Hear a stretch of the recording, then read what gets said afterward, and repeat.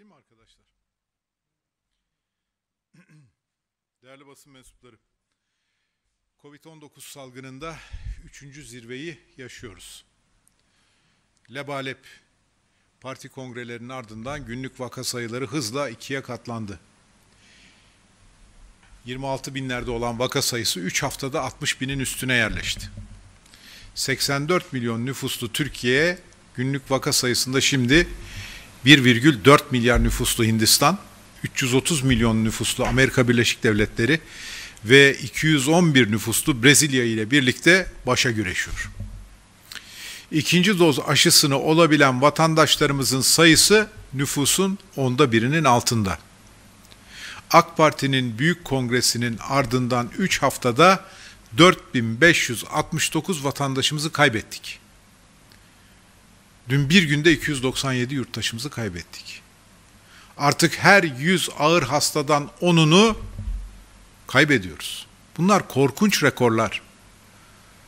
Sarayın kibirli başı siyasi iflasını gizlemek için pandemiye rağmen lebalep kongreler düzenledi. Kendi korkularını bastırmak için milletimizin canını tehlikeye attı. Ortada hatalarının ve sorumluluğunun farkında olmadan ülkeyi yönettiğini zanneden bir şahsım hükümeti var. Dünya salgında yavaş yavaş açılma sürecine geçiyor. Biz ise yarım yamalak bir kapanma sürecine geçtik. Bu beceriksizliğin, bu korkunç tablonun sorumlusu kim? Elbette artık ülkeyi yönetemeyen Erdoğan şahsım hükümeti. Ama Erdoğan şahsım hükümeti salgından salgın kontrolden çıkınca sorumluluk üstlenmiyor. Topu taca atıyor.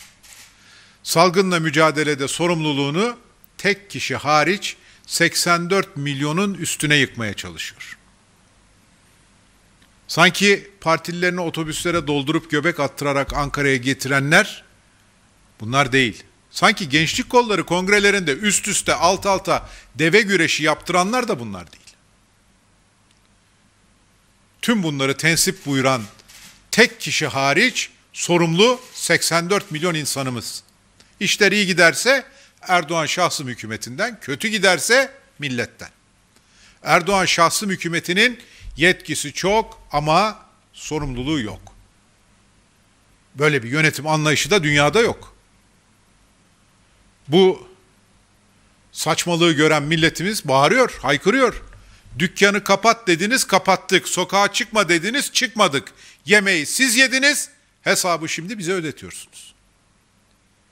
Bilim kurulu deseniz adı var kendi yok. Ne önerdiler? Erdoğan şahsım hükümeti bunların ne kadarını uyguladı? Bilen yok. Erdoğan şahsım hükümeti bilim kurulunu kendine dekor yaptı. En son İçişleri Bakanlığı birim kurulunun önerileri doğrultusunda dedi. Ve iki haftalık kısmi kapanma kararının ayrıntılarını açıkladı. Ama bu kararların neresinden tutsanız elinizde kalıyor. 65 yaş üstü vatandaşlarımız büyük ölçüde aşılandı. Ama yine bu yaş grubuna yeniden sokağa çıkma kısıtlamaları getirildi. Salgında en fazla hırpalanan yaş grubu maalesef 65 yaş ve üstü oldu. Alzheimer, demans gibi hastalıkları olanların hastalıkları ilerledi. Yaşa bağlı depresyonlar arttı. Şimdi bu vatandaşlarımız artık isyanda. Yine yayınlanan genelgeye göre vatandaşlarımız kısıtlama saatlerinde kendi aracıyla bir şehirden başka bir şehre gidemeyecek. Ama toplu taşımaya taşımayla gitmek serbest olacak. İş yerleri akşam saat 18'de kapanacak dendi. Ama sokağa çıkma yasağı da 19'da başlıyor. Bir saatte bu insanlar işten nasıl çıkacak? Eve nasıl gidecek? Evin alışverişini nasıl yapacak? Özellikle İstanbul'da vatandaşlarımızın çakarlı makam araçları yok. Saraydakiler gibi. Korumaları yok. Kırmızıda geçme imtiyazları yok. Saraydakiler milletin halini bilmeden devleti yönettiklerini sanıyorlar. Erdoğan şahsım hükümeti Ramazan ayında lokanta, kafeterya ve pastaneleri kapattı. Bunlar müşteri kabul edemeyecek. Bu işletmeler gel al ve paket servisiyle ayakta kalmaya çalışacak. Cumhuriyet Halk Partisi ekonomi masası olarak yeme içme sektörü temsilcileriyle bir araya gelme imkanını bulduk. Türkiye'nin dört bir yanında geziyoruz. Lokantacılar, pastaneciler, kafe sahipleri gel al ve paket servisle dükkanlarını döndürmelerinin mümkün olmadığını söylüyorlar. Erdoğan şahsım hükümeti müşteri alma dediği iş yerlerine Avrupa'da olduğu gibi sana kaybettiğin ciro kadar destek vereceğim diyebiliyor mu?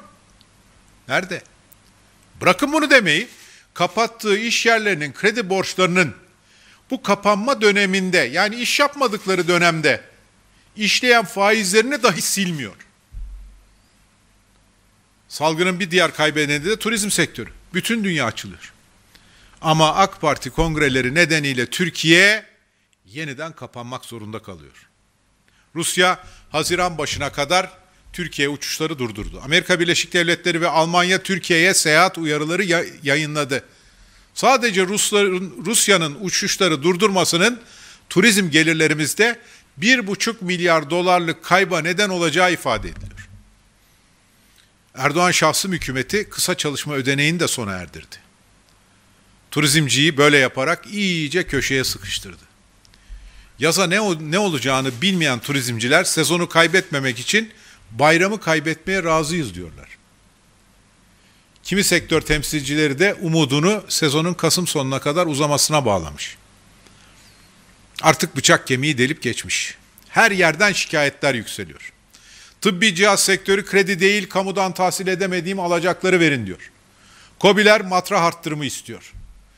Çekten hapse girecek esnaf, esnaf suçlu değil borçlu diye haykırıyor. İşveren örgütleri de artık üyelerinden gelen basınca dayanamıyor.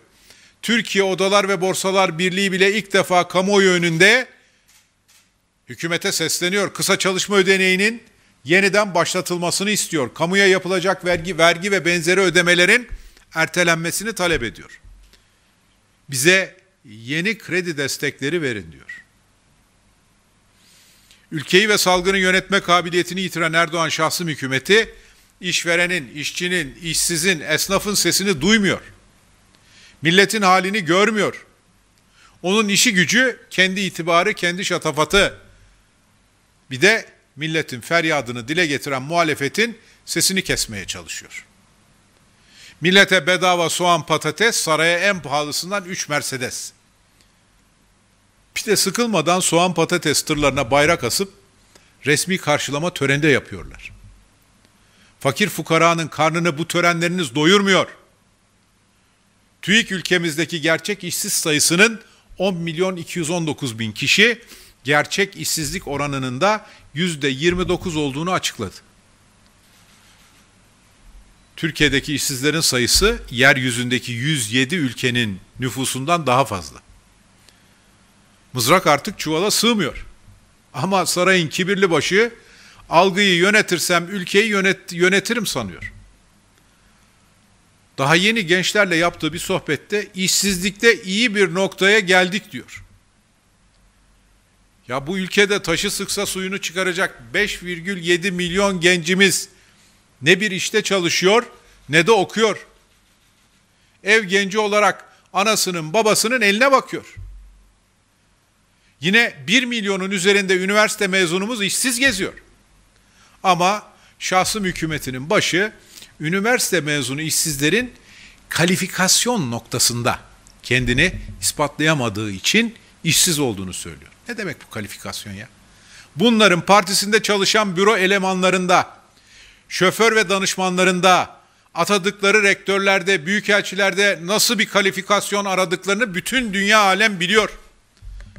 Saray sosyetesinin büro elemanları burunlarına pudra şekeri çekerken, şoförleri, danışmanları paranın altında ezilirken, eski vekiller kırpılıp kırpılıp rektör ve büyükelçi yapılırken, sarayın çocukları ballı yönetim kurulu üyeliklerine atanırken, milletin çoluğu çocuğu işsizliğin, umutsuzluğun, açlığın altında eziliyor. Milletimiz yaşanan bu çürümeyi, ağırlaşan kokuşmayı artık kaldıramıyor. Patates, soğan, güle güle Erdoğan diye barbar bar bağırıyor. Erdoğan şahsım hükümeti iş başına geldikten sonra Merkez Bankası kasasına girmesi gereken 128 milyar dolar buharlaştı. Bunu ben demiyorum. Türkiye Cumhuriyet Merkez Bankası'nın yayımladığı veriler diyor. Döviz rezervlerini arttıran işlemlerden azaltan işlemleri düştüğünüzde kasada olması gereken 128 milyar dolar yerinde yok. Dalgalı kur rejimi uygulayan, sermaye hesabı açık olan bir ekonomide böyle bir rezerv erimesini izah etmek mümkün değil. Bir de milletin dövizleri Merkez Bankası'nın arka kapısından buharlaştıysa bu dünyanın her yerinde skandaldır. Dalgalı kur rejiminde merkez bankaları piyasalara son derece istisnai olarak ve çok kısa süre için müdahale ederler. Bunun da yolu yordamı bellidir. Ya ihale açılır ya da doğrudan müdahale edilir. Ne yaptıysa Merkez Bankası bunu da şeffaf bir şekilde açıklar. Buna göre ülkemizde en son döviz müdahalesi kaydı 23, 23 Ocak 2014'te. En son döviz satım ihalesi kaydı ise 27 Nisan 2016'da. Sonrasında hiçbir kayıt yok. Ama Merkez Bankası'nın arka kapısından çıkıp buharlaşan 128 milyar dolar var. Bir de bu buharlaşan dolarları gizlemek için Katar'dan, Çin'den, bankalardan swap adı altında alınan kısa vadeli emanet dövizler var. Şimdi teşbihte hata olmaz. Baba evladına kasayı emanet etmiş. Evlat da kasayı boşaltmış. Sonra eşten dosttan borç almış kasaya koymuş. Kasada para var gibi göstermiş. Ama bu arada baba hem kasadaki paralardan olmuş hem de borca batmış. Milletimiz de kasayı Erdoğan şahsım hükümetine emanet etti. Ama Erdoğan şahsım hükümeti kasayı boşalttı, milleti de borca batırdı. Merkez Bankası'nın kapısına alacaklılar dayansa bugün kasada para yok, rekor derecede, rekor açık var. Ayakta kalmak için başkalarının dövizine muhtaç olmuşsunuz. Bunu ben demiyorum. Bak Türkiye Cumhuriyeti Merkez Bankası'nın uluslararası rezervler ve döviz likidite hesabı gösteriyor. Erdoğan şahsım hükümeti iş başına geldikten sonra sadece döviz rezervlerimiz erimemiş. Bu kifayetsiz yönetim son 3 yılda ülkemizin milli gelirini de 142 milyar dolar eritmiş. Hem kasadaki döviz gitmiş hem de gelirimiz bitmiş. Milletimiz yoksullaşmış. Biz aylar önce Merkez Bankası kasasındaki dövizlerin neden, nasıl, hangi yöntemle, kim tarafından, kimlere verilerek buharlaştırıldığının peşine düştük. Soru önergeleri verdik. Araştırma önergeleri verdik. Cevap alamadık. Bunun üzerine doğrudan Erdoğan şahsım hükümetine 128 milyar dolar nerede diye sorduk. Önce bir duymazdan geldiler. Sonra mecbur kaldılar. Erdoğan çıktı. Parayı salgında harcadık dedi. Tamam salgında harcadınız da o zaman 2019'da 2019 yılında erittiğiniz rezervler ne? 2019'da salgın mı var? Salgın yok ama ne var? Mahalli idare seçimleri var.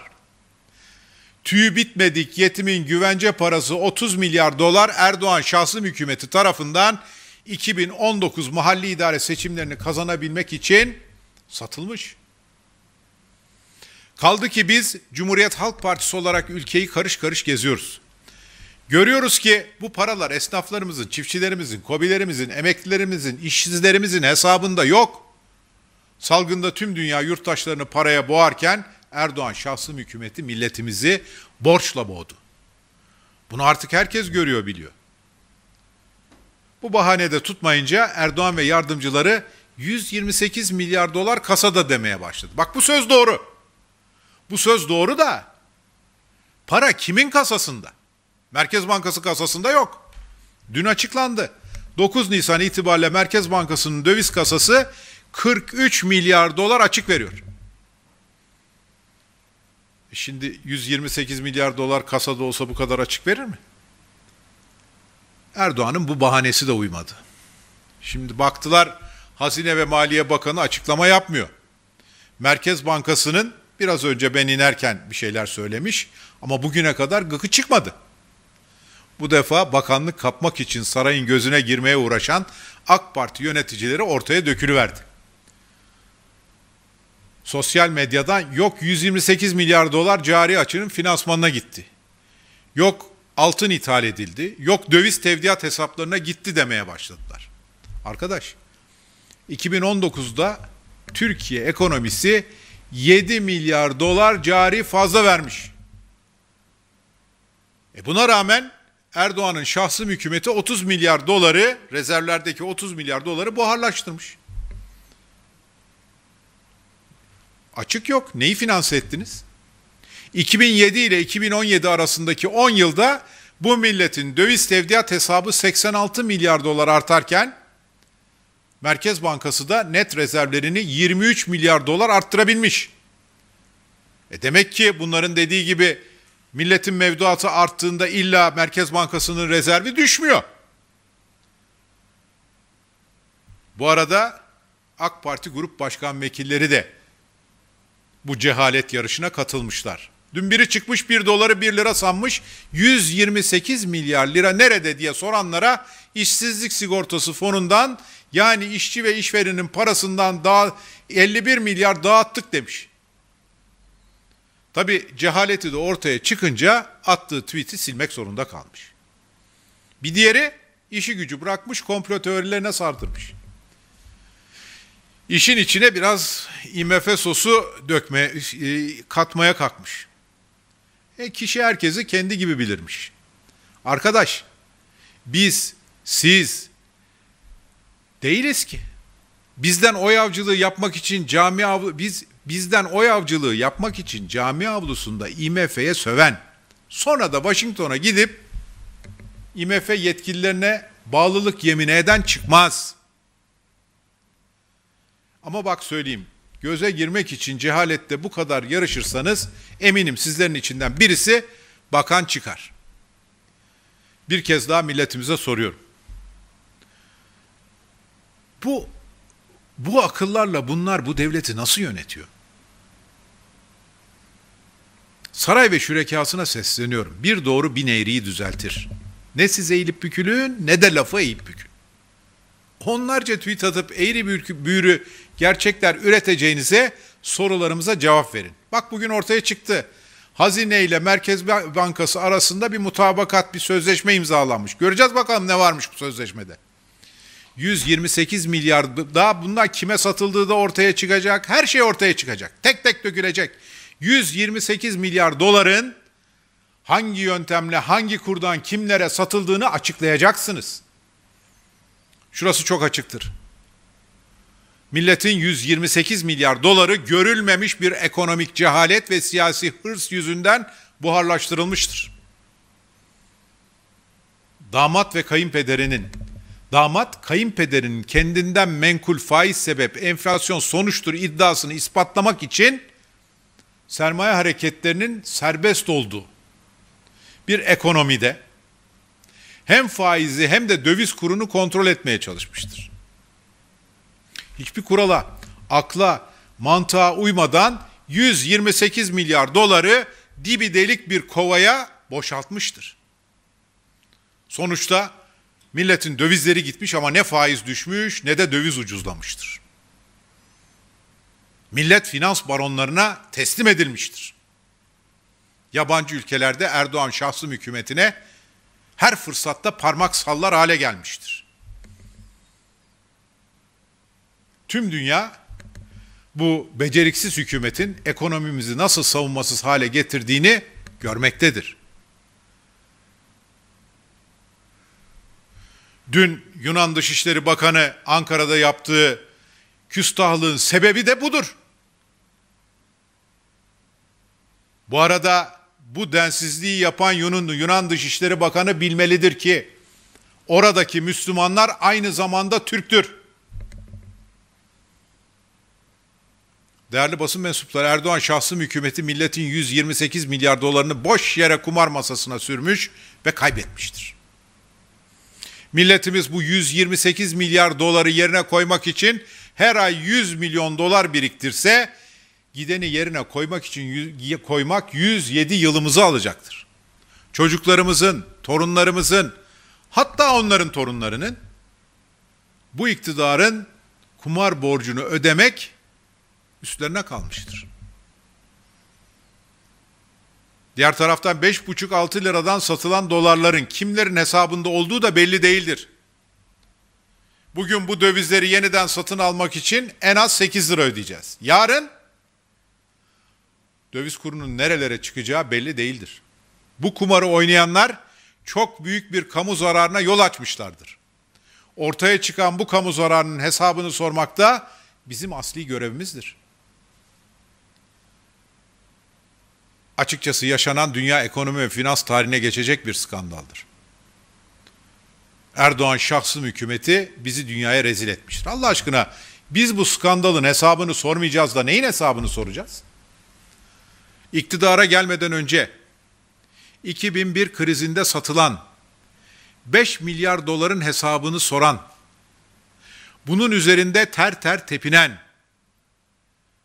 tüy bitmedik yetimin hesabını soracağız diyen, iktidara geldikten sonra da yolsuzlukları araştırma komisyonu kurup, bunu araştıran, merkez o dönemin Merkez Bankası Başkanı'nı mahkum eden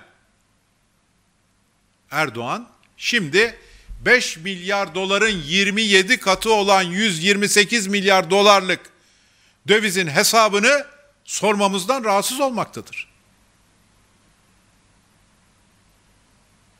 Vesayeti altındaki AK Parti ve MHP gruplarına bizim verdiğimiz araştırma önergelerini reddettirmektedir. Neden? Çünkü Erdoğan milletimizin dövizini buharlaştırmanın siyasi maliyetini yakinen bilmektedir. Şimdi bunun hesabını vermezseniz sizden öncekilerin kurtulamadığı gibi siz de bunun sandıkta siyasi bedelini ödemekten kurtulamayacaksınız. Merkez Bankası kasasındaki döviz rezervleri Sayın Erdoğan'ın şahsi parası değildir. Bu döviz rezervleri milletimizin tüy bitmedik yetimin sigortasıdır güvencesidir. Bunun için biz bu buharlaşan döviz rezervlerinin hesabını soruyoruz. Kendi adımıza da sormuyoruz, milletin adına soruyoruz. Milli irade bize bu görevi verdiği için soruyoruz. Kime soruyoruz? Tabii ki Türkiye ekonomisinin sorumlusu benim, ben diyene soruyoruz. Hükümeti bu konuda denetleyebilmek için meclisin sunduğu tüm imkanları da sonuna kadar kullandık. Ama ne yaparsak yapalım Erdoğan'ın vesayeti meclis iradesine gölge düşürdü. Baktık ki normal yollardan cevap alamıyoruz. 128 milyar dolar nerede diye afiş hazırladık. Bu sefer de karşımıza kamu görevlileri çıktı. Vesayet altındaki kamu görevlileri çıktı. Bu Cumhurbaşkanı'na hakarettir. Neden? Çünkü afişte sarayın çatısı var dediler. Gerçekten yargıçlar sarayın çatısını neden saraya hakaret olarak kabul ederler? Bunun takdirini milletimin ferasetine bırakıyorum. Sarayın çatısı hakaret kabul edilince Edirne İl Örgütümüz afişlerden çatıyı kaldırdı. Bu defa ama yine olmadı. Bu defa da Edirne Suç Ceza Hakimliği 128 milyar dolar nerede afişlerinin toplumun farklı görüşlere mensup kısmının tepkisine yol açıp karşıt görüşlü grupların karşı karşıya gelmelerine neden olabileceğini değerlendirerek ama bu hiçbir yasa maddesinde yok. Afişlere el konmasını onayladı. Bugün ise il başkanımız sadece 128 diye afiş asmış. Bu defa da mahkeme Cumhurbaşkanının pandemi için aldığı tedbirleri gerekçe göstererek afişi indirme kararı almış. Ya bu tam kurt, kurtla kuzunun suyu bulandırma hikayesi. Böyle uyduruk bir suç hangi kanunda var? Kanunsuz suç icat etmek nerede var? Gece yarısı ana muhalefet partisinin il ve ilçe başkanlıklarının kapısına vinçleri, zırhlı araçları dayayıp uzun namlulu silahlarla, özel harekat timleriyle basmak nerede var? Demokrasinin neresinde bu iş? Tüm bunlar hukuk devletinin neresinde yazıyor? 20 Temmuz sivil darbesinin mahsulü Erdoğan şahsım hükümetinin çirkin yüzü artık ayan beyan ortadadır. Kaybolan 128 milyar doların üstünü örtmek için yaptıkları bu hükümetin 12 Eylül darbecilerinden de beter darbeci olduğunu tasdiklemiştir. Sarayın vesayeti altındaki yargıçlar ve valiler eliyle anayasa ve siyasi partiler kanunu, demokrasi, hukuk devleti ayaklar altına alınmaktadır. FETÖ'nün siyasi ayağı nerede diye kitapçık hazırlatıyoruz, toplatıyorlar. Sarayın bol maaşlı beslemeleri hakkında arpalıklar broşürü hazırlatıyoruz, onu da toplatıyorlar.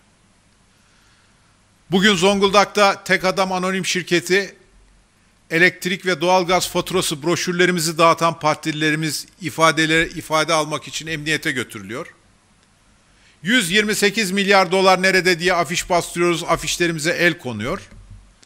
Tüm bu yapılanlar millet iradesinin serbestçe oluşmasına vurulan bir darbedir. Ne yaparlarsa yapsınlar. Biz tüy bitmedik yetimin hakkını yılmadan savunmaya devam edeceğiz. Değerli basın mensupları dün Merkez Bankası faiz kararını açıkladı. Politika faizini %19'da sabit tuttu. Alınan bu karar önceki başkanın faizleri %19'a çıkartması nedeniyle görevden alınmadığını açık seçik gösterdi. 132 gün görevde kalabilen Naci Ağbal'ın 128 milyar doların encamını sorguladığı için görevden alındığı artık netleşti. Sabit tutulan %19 politika faizi dünyanın en yüksek 7. politika faizidir. Rezervlerdeki hızlı erime yüzünden ekonomimiz ne yazık ki bugün çok daha kırılgandır.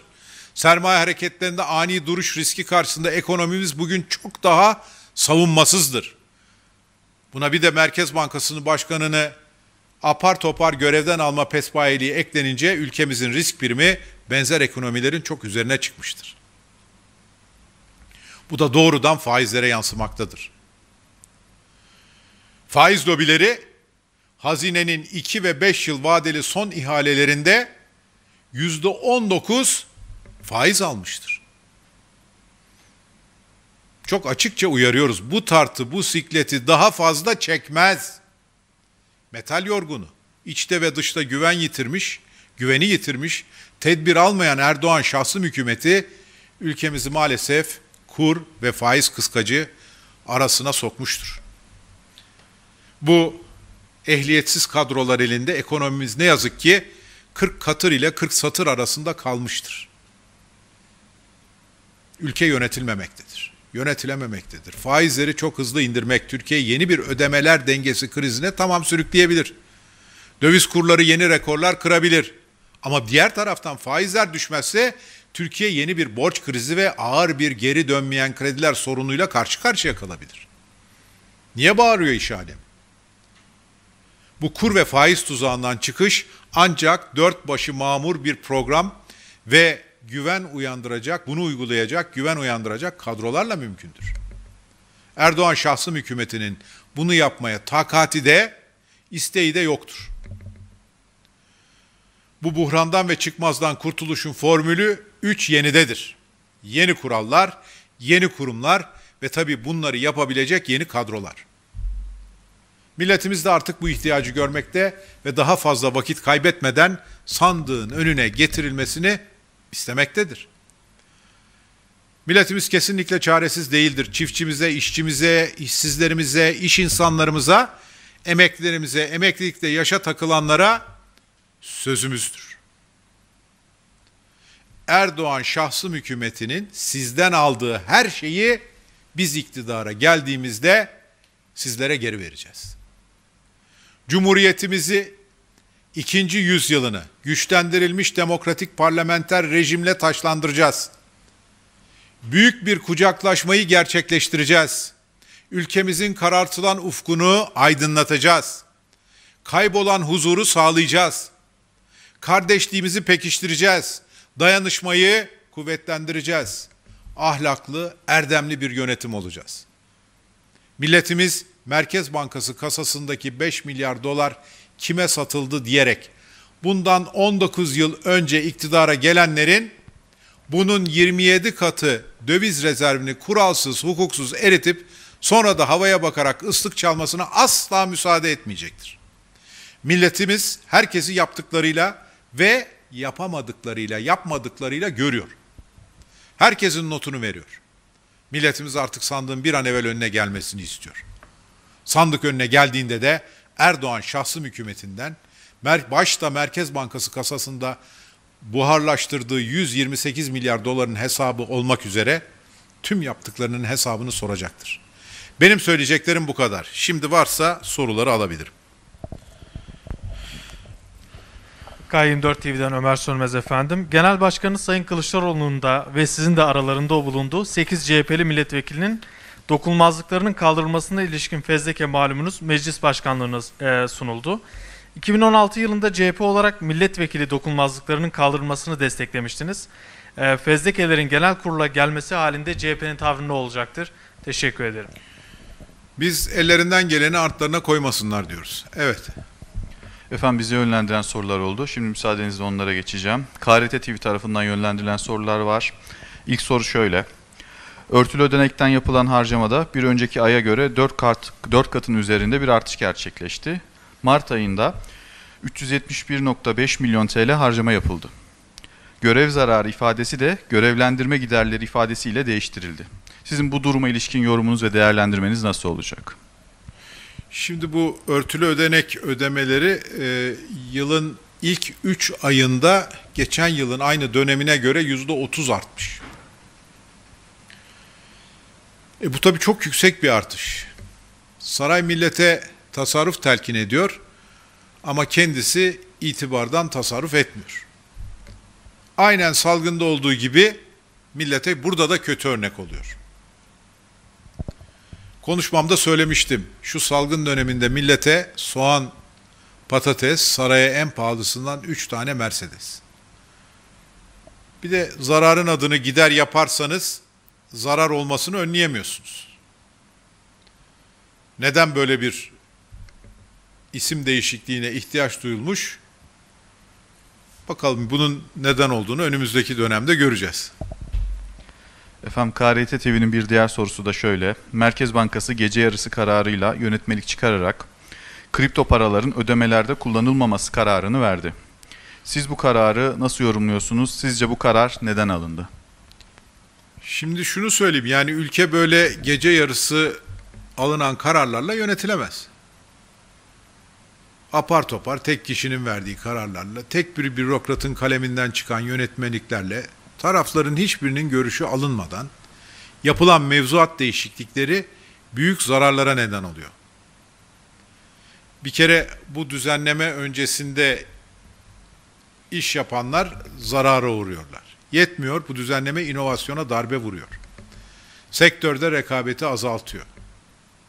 Aslında bu konu tüm sektör temsilcileriyle istişare edilerek ele alınmalıydı inovasyon, güvenlik ve rekabet dengesi sağlanmalıydı.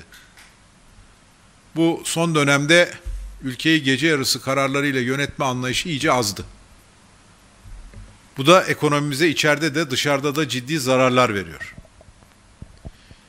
Genel Başkanımız bu yapılan işlerle ilgili olarak taraflarla görüşüyor. Bitirirken tekrar söyleyeyim. Ülkeyi böyle yönetmek mümkün değildir. Evet. Efendim Fox TV tarafından yönlendirilen sorular var. Fox TV'nin ilk sorusu şöyle.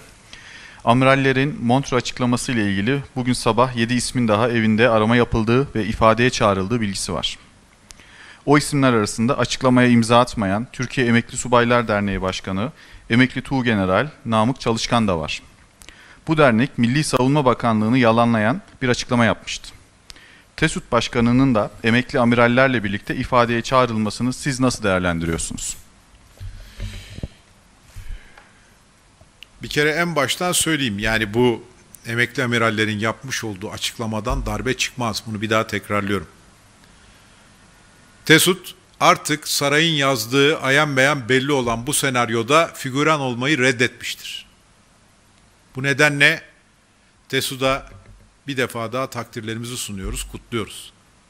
Şimdi TESUD'un başkanı emekli Tuğgeneral Namık Çalışkan'a dik durmanın bedelini ödetmeye çalışıyorlar. Tekrar söylüyorum. Esas darbeci yargıçları, valileri, milletvekillerini vesayet altına alıp muhalefetin sesini kesmeye çalışan kadrolardır. Efendim Fox TV'nin diğer sorusu da şöyle. Geçtiğimiz hafta Anadolu Ajansı Genel Müdürlüğü koltuğunu devreden Şenol Kazancı dün 56 bin TL maaşla Türkcell'de yönetim kurulu üyeliğine atandı. Siz bu atamaları nasıl değerlendiriyorsunuz? İstanbul'da mahalli idare seçimlerini çalma gayretlerinde Anadolu Ajansı'nın rolünü çok iyi hatırlıyoruz. E, şunu da gayet iyi biliyoruz. Liyakat değil ama Erdoğan'a sadakat mükafatsız kalmıyor. Kalifikasyon bunun üzerinden geliyor. Ama ben bir şey söyleyeyim. Şenol Bey'e şunu hatırlatayım. Bu iş tek yönetim kurulu üyeliğinde kalırsa bilin ki Erdoğan'ın kendisine, bilsin ki Erdoğan'ın kendisine bir kırgınlığı vardır. Evet. Efendim CNN Türk tarafından yönlendirilen bir soru var. Soru şöyle. Cumhuriyet Halk Partisi Genel Başkanı Sayın Kılıçdaroğlu'nun geçtiğimiz hafta dile getirdiği adaylık açıklamaları sonrası İyi Parti Genel Başkanı Sayın Meral Akşener de konuştu. Aday olmayı düşünebilir. Bir sakınca yok dedi. Akşener seçime çok zaman var. O zaman neler olur hep birlikte görürüz değerlendirmesini de yaptı. Cumhuriyet Halk Partisi Grup Başkan Vekili Engin Altay da adaylık için iki seçenekten söz etti. Cumhurbaşkanlığı başkanlığı adayı sürecine dair Millet İttifakı'nda bir görüş ayrılığı olacağını düşünüyor musunuz? Düşünmüyorum. Yani buradan havuz medyasına ekmek çıkmaz. Teşekkür ediyorum.